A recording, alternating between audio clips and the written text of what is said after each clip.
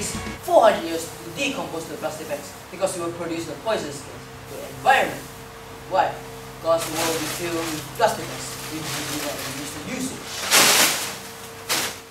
You want the next generation to live in such a world that is filled with plastic bags? No, I don't. If we not, if not, we need to reduce the usage of plastic bags. But how do we do that? You could use cycle bags. Why? You could save up to 4 to 5 plastic bags per usage. And we should love the nature and keep Singapore clean and green. And mostly is the best the three R's. And three R is Reduce, reuse, and recycle.